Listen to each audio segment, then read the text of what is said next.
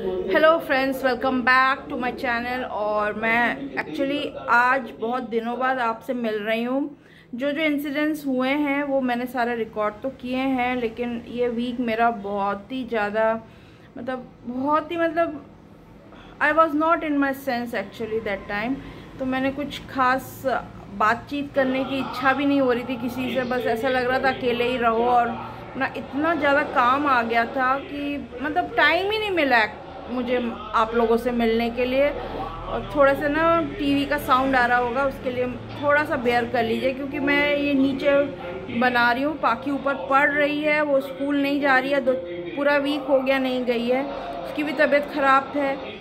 अभी रिकवर हो गई है तो मैं आज बहुत अच्छा फील कर रही हूँ, इसीलिए मैं आपसे सोची बात भी कर लेती हूँ, पर ये जो वीक मेरा गुजरा है वो बहुत ही ज़्यादा ख़राब था और क्या क्या हुआ, वो मैं आपको अभी आगे वीडियो में पूरा दिखा दूँगी। और अभी मैं आई हूँ नीचे लंच की तैयारी मतलब लास्ट अभी लंच का टाइम ही हो गया है। लंच करने सुबह नाश्ता कर लिया और इसके आगे का जो वीडियो है, वो मैं नेक्स्ट ब्लॉग में आप लोग से शेयर कर लूँगी। तो आप मेरे वीडियो को लास्ट तक देखिए, देख लीजिए क्या क्या हुआ है। अब मैंने जैसे कहा कि I was not in my sense तो मैंने ज़्यादा रिकॉर्ड भी नहीं कर पाई, लेकिन थोड़ा बहुत जैसे जैसे लगा कि हाँ अब रिकॉर्ड थोड़ा दिखाना है, आप लोग को बताना है, मेरे साथ क्या हुआ पूरे वीक मैं क्यों परेशान थी तो वो आप देख लीजिए, आगे इसी के कंटिन्यूटी में रहेगा वो। तो चलिए, बता देती हूँ क्या क्या हुआ।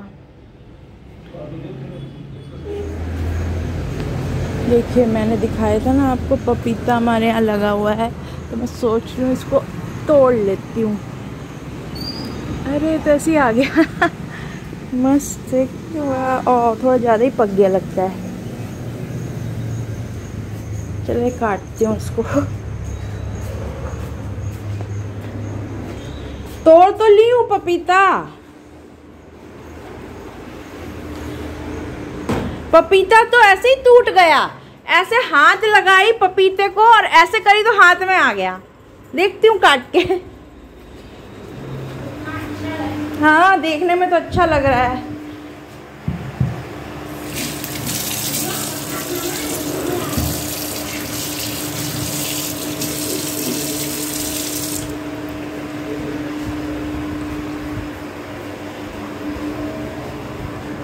काट के दिखाऊँगे अब आप लोग को, क्योंकि एक हाथ से नहीं होता है ना।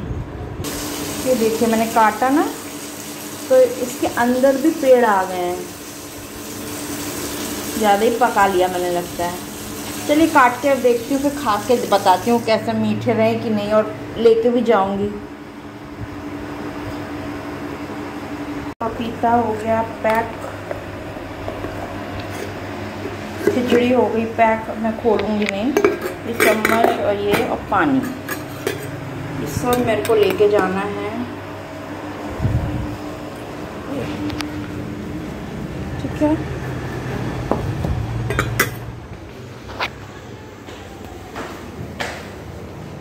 खोलोगे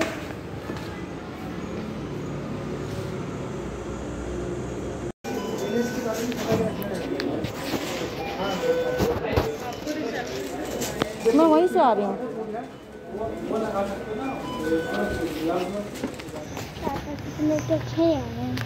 तो अच्छा लगा। अच्छा लगा पापा से मिलके। तो मैं और पाखी दोनों आज पापा से मिलके पाखी के पापा से मिलके आ रहे हैं और मैं घर की तरफ़ जा रही हूँ। तो ये वॉकिंग डिस्टेंस पर ही है बस पैदल ही आए थे हम लोग खाना देने और अब मैं जा रही हूँ। ऐसा मेरे दो दिन मैंने लगातार किया। फिर दूसरे दिन हुआ ये कि पाखी की भी तबीयत ख़राब हो गई। जाओ। दिखाओ दिखाओ।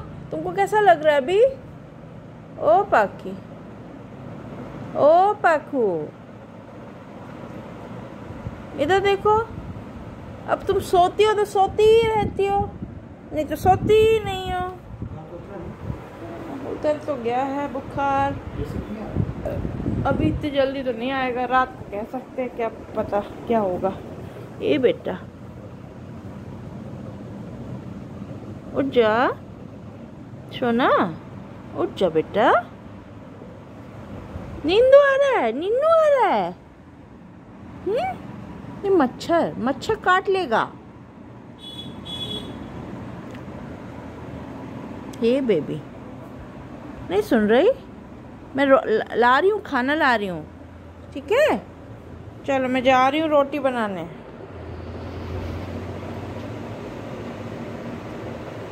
वो फ़ोन पप्पा वहाँ पड़ा हुआ तुम्हारा। टीवी देखोगी? अभी ठीक लग रहा है तबीयत? उतर गया बुखार? तुमको कैसे पता उतर गया? नॉर्मल ठंडा हो गया ना? तो पसीना भी आ रहा है हाँ चलो।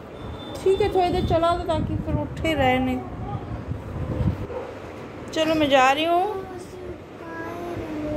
रिमोट तुम्हारे उधर रखा है। हाथ के पास ही। ये ये देखो ना। ऑन तो खो जाएगा ऑन की बात ही नहीं वो देखो ऑन हो गया। हाँ चश्मा।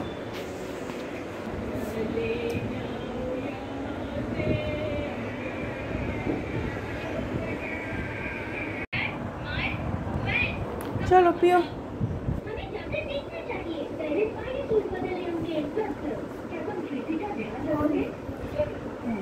पकड़ो इसको हाँ पहले पकड़ो तो तभी तो करूँगी। सब करूँगी पहले पकड़ो। दोनों हाथ से पकड़ो। हम्म। चलो।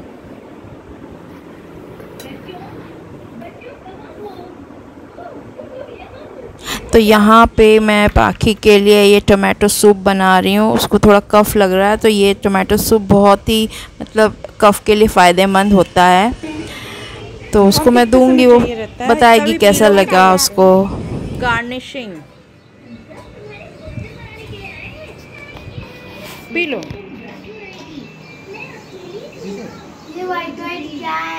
पी के तो देखो। तुम तो पी लो इसी से।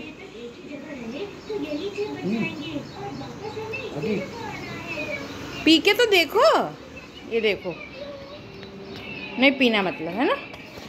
नहीं पीना। पीना लेकिन ऑफ़ कर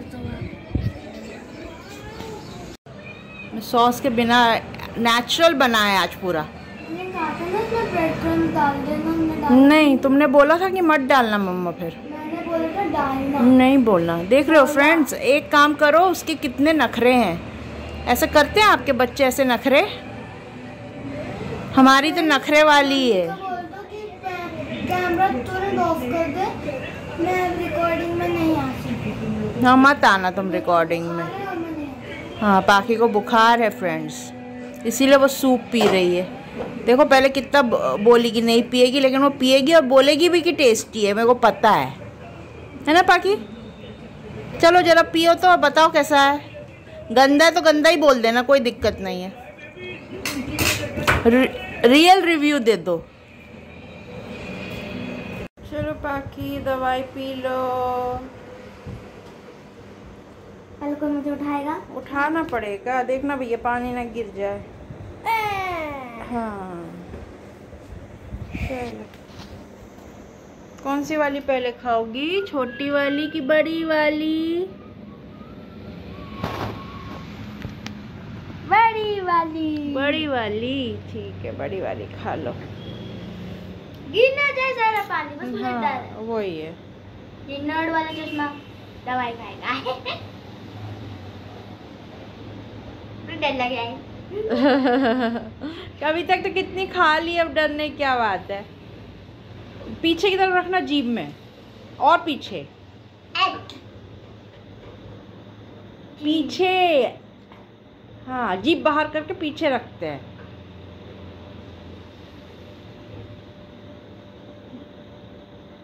गया? हाँ वेरी गुड अभी ये वाली। हाँ। इसको क्या बोलते हैं? कौन सी है? ये छोटी है दूसरी है हाँ। नाम बोलने की ज़रूरत नहीं हमें जो डॉक्टर ने दिया हम वही खाएँगे। बिना डॉक्टर के कोई दवाई नहीं खाएगा। बता नहीं सकते कि कौन से डॉक्टर हाँ। ने दी है दवाई। वो सब नहीं बात करेंगे हम सिर्फ़ दवाई खाएँगे और ठीक हो जाएँगे। तो ये है बुखार का तीसरा दिन आज। आज थर्ड डे है बुखार का आपका। हम्म। इसीलिए आज पाखी बहुत अच्छी फील कर रही है। है ना? दो दिन से तो बहुत ही सैड थी अपसेट थी बीमार थी।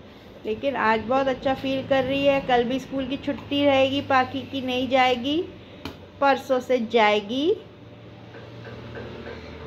तो छोटा वाला ना बहुत कड़वा है। हाँ इससे कुछ काम नहीं हो रहा। उससे काम नहीं हो रहा। बॉटलों से ज़्यादा पानी पियेंगे और काम होएगा।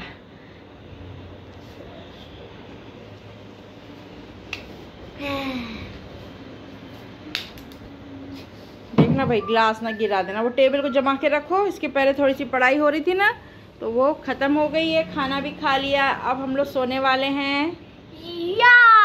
और कल सुबह आप लोग से मिलूँगी। अभी मेरी हालत ठीक नहीं है कुछ। कल मैं मिलूँगी। तो फ्रेंड्स आपने देखा कि पूरा जो वीक था मेरा, क्या हुआ, क्या नहीं हुआ, आप समझ गए? नहीं समझे? तो मैं बताऊँ तो हुआ यूँ कि प्रतीक की तबीयत ख़राब हो गई थी। अभी वो नहा रहा है। तो इसलिए मैंने ऐसे किया, प्रतीक की तबीयत ख़राब हो गई थी। ख़राब ऐसे हुई थी कि उसको ना बहुत ही पैल्पिटेशन उसका बढ़ गया था। तो हम दो दिन तो हमने अवॉइड किया।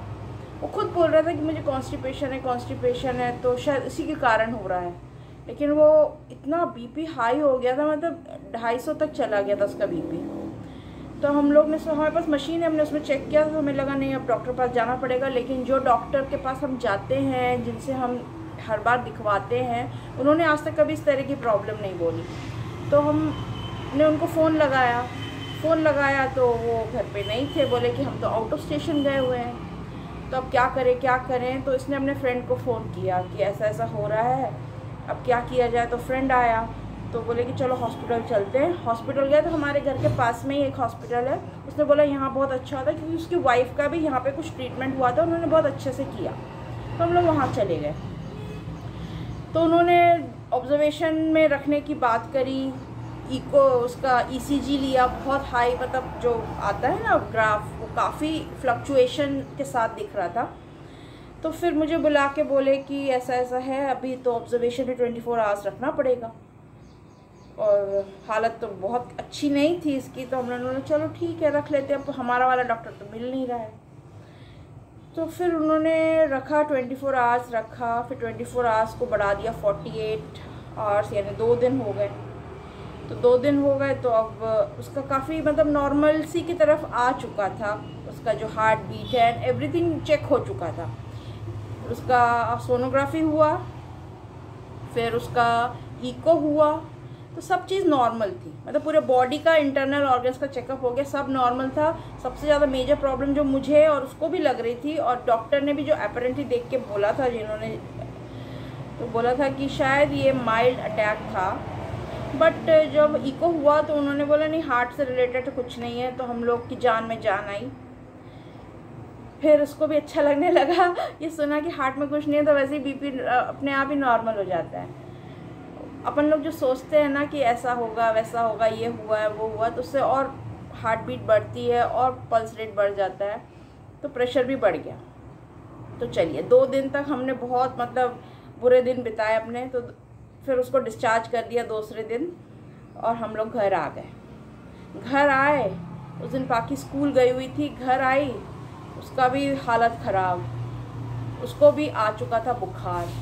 मतलब स्कूल से आई तब तक तो ठीक थी, लेकिन जब सुबह उठी ना स्कूल जाने के लिए, तब उसका बॉडी में टेम्परेचर था। तो फिर उसको भी हमने फिर उस दिन जाने नहीं दिया। तब तक हमारे डॉक्टर भी आ गए थे फैमिली डॉक्टर उनके पास ले गए पाखी को इसने भी अपना दिखाया। तो डॉक्टर ने बोला, ये सब तो कुछ भी नहीं था, इसकी तो ज़रूरत ही नहीं थी, हमने मतलब इतने पैसे हमारे लुट गए। खैर, उस टाइम वही हमारे लिए भगवान थे, क्योंकि जो हमारा मेन डॉक्टर है वो तो था नहीं। तो बाकी को तो खैर नॉर्मल बुखार था वायरल था तो हमें लगा तीन चार दिन में ठीक हो जाएगा। और तो हो भी गया डॉक्टर की दवाई से, ठीक हो गया। लेकिन उसको, उसके बाद उसको इतनी खांसियाँ आ रही थी कि मतलब ऐसा लग रहा है जैसे चेस्ट में फंस गया कुछ। तो फिर डॉक्टर पास गए तो उन्होंने फिर दवाई दी, फिर हमने स्कूल बंद कर दिया उसको मतलब पूरा एक वीक वो स्कूल नहीं गई। तो आज गई है, ठीक हो गया है सब कुछ टचवुड मतलब पूरा ये, पूरा जो सीन मैं आपको बता रही हूँ, सब कुछ जो बता रही है, पूरा एक वीक का हमारा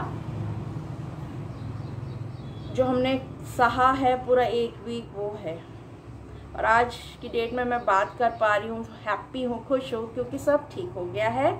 और मेन है, सारे बॉडी का चेकअप हो गया, सब पता लग गया कि एवरीथिंग इज़ नॉर्मल तो आजकल बहुत कॉन्शियस हो गया है। खाने में भी आप देख रहे हो, रोज़ लौकी बनानी पड़ रही है।